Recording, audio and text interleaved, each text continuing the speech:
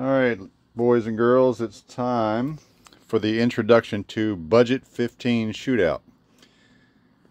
What I'm going to do is spend the next few weeks, or several weeks, um, testing Budget 15 subs, not a lot of them. I'm going to do them in a sealed box, which I'll show you in a minute, and a ported box. The sealed box is two cubic feet. It's a little small, but it'll work. It's going to have to work. I'm not building another one. Uh, the seal, the ported box is going to be 3.25, three and a half. I haven't built it yet.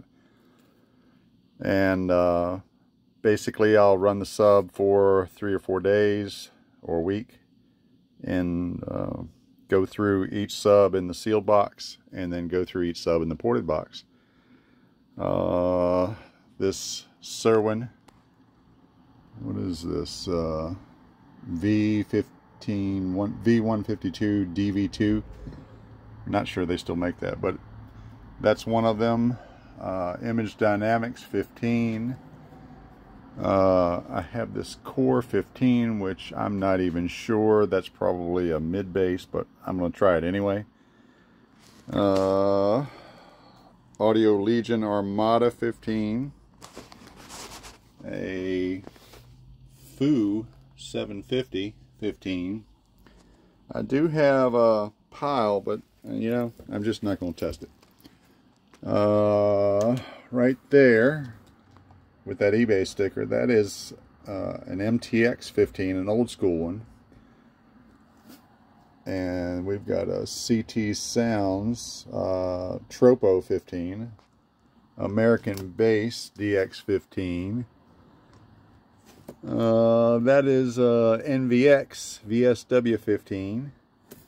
Then that is a Wolfram TI15. And on the bottom is a Gladiator TI, uh, Gladiator, Gladiator mm, D415.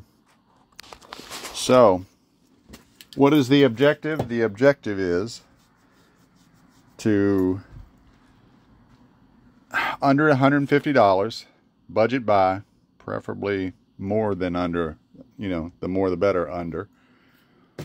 Uh, you know, budget bass. What performs what? Uh, is the $150 sub better than the $99 sub?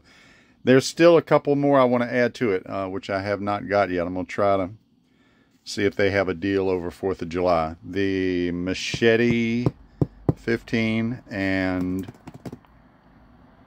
uh, a Rockville 15. And the Rockville, the K6 and the K9 are only like $5 apart, but simply because of their giant difference in weight, so I'm probably going to go with the K6. Um, so what is that? One, two, three, four, five, six, seven, eight, nine, ten, eleven. 12, 13, gosh, it's hard getting old. 1, 2, 3, 4, 5, 6, 7, 8, 9, 10, 11, 12, 13. So that's 13 subs. Lord of mercy. I'm going to try to uh, change them out. I meant to change one out. I ran the Image Dynamics last week and meant to change it on Wednesday, but we had rain Wednesday, Thursday, Friday. So I changed out and put the Cerwin, which I'll show you in a minute. So there's the Cerwin Vega in the sealed box.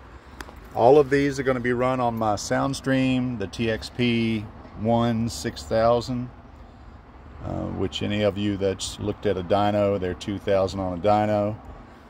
Uh, I'm not really concerned with power handling as much as I am sound.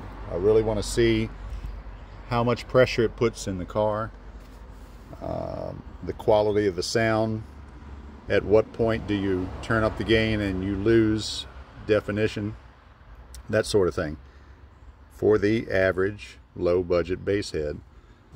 So that is your introduction and that's going to be over the next several weeks look for it on Bass Heads on a Low Budget on Facebook. That's it. Have a good one.